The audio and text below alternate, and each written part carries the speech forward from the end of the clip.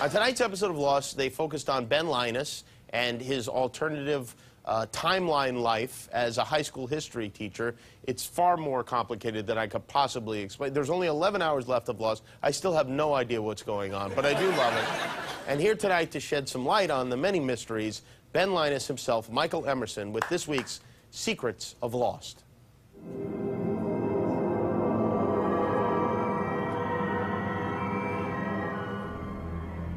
My character, Ben Linus, gets beat up a lot on the show. Apparently, everybody is jealous of my situation. Yeah, my situation.